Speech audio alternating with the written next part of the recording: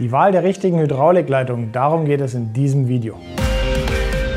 Mit den Hydraulikleitungen oder auch Dash-Fittingen genannt oder Fittinge oder wie auch immer, kann man eigene Hydraulikleitungen, wie der Name schon sagt, äh, erstellen. Man kann am Fahrzeug direkt Sachen bauen, man kann sich die Längen zuschneiden, man kann verschiedene Winkel von Adaptern etc. benutzen.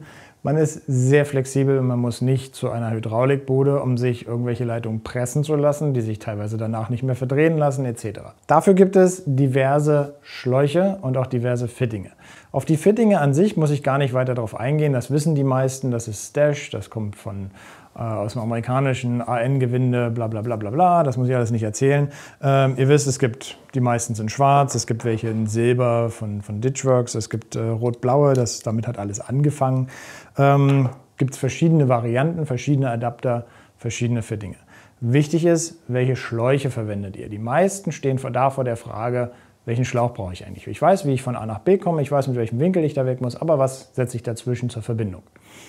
Dafür gibt es diverse Schläuche. Wir bieten drei verschiedene Varianten an. Das ist der klassische Hydraulikschlauch, der Hydraulikschlauch E85 und der PTFE-Schlauch.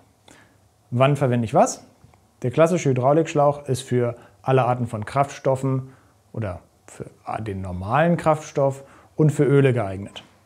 Der Hydraulikschlauch E85 ist, wie der Name schon sagt, für E85 Kraftstoff, das heißt für Ethanol angereicherten Kraftstoff geeignet. Ob ich das für E100 rein Ethanol verwenden würde, das möchte ich vielleicht bezweifeln. Auf jeden Fall ist er widerstandsfähiger als der normale Hydraulikschlauch. Temperaturbereiche, Flexibilität etc. kann man da nicht unterscheiden. Gibt es nicht. Es geht rein um das Ethanol, was ja bekanntermaßen Gummi angreift und deswegen nicht der normale Hydraulikschlauch passend ist oder nicht dafür geeignet ist. PTFE hingegen ist ein Kunststoff und ähm, ja, eine Art Kunststoffmaterial, ist deutlich dünner, nutze ich dann, wenn ich zum Beispiel filigranere Leitungen haben will oder vielleicht nicht so viel Platz habe, irgendwo mit einer Leitung durchzugehen. Und dann, wenn ich sehr hohe Drücke fahre, zum Beispiel im Hydraulikbereich, im Bremsleitungsbereich etc. Dann ist PTFE die richtige Wahl.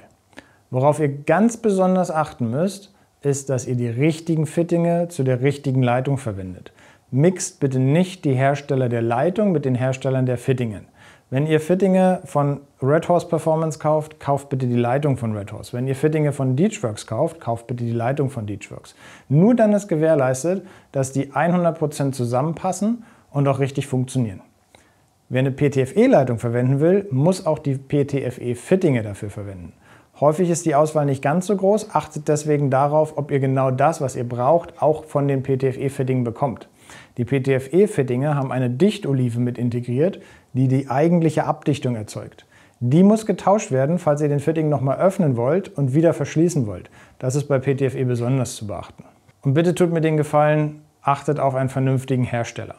Wir achten sehr stark darauf, welche Hersteller wir ins Programm nehmen. Wir haben verschiedene Fitting-Hersteller im Programm und wir haben leider die Erfahrung gemacht, dass es viele Hersteller gibt, die doch offenbar eher Geld machen wollen, als Qualität zu liefern. Und da insbesondere sehr viele Undichtigkeiten aufkommen.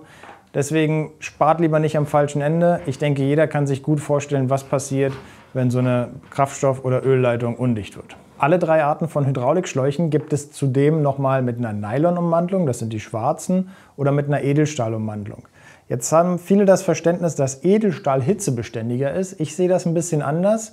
Ich habe eher den Punkt, dass Edelstahl die Hitze aufnimmt und länger in dem Material hält, das heißt länger die Leitung innen drin belastet. In hitzesensiblen Bereichen oder in kritischen Bereichen, in hohen Temperaturbereichen, würde ich eher zu einer Leitung mit einer Nylonummantelung tendieren und diese dann mit einem Hitzeschutzschlauch nochmal zusätzlich ummanteln.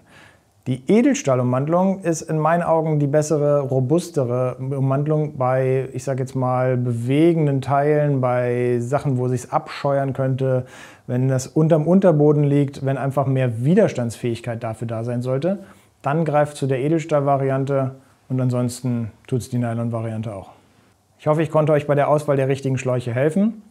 Bedanke mich fürs Zuschauen und ich würde mich freuen, wenn ihr unseren Kanal abonniert und nicht vergessen, immer den gleichen Hersteller bei Schläuchen wie Fitting.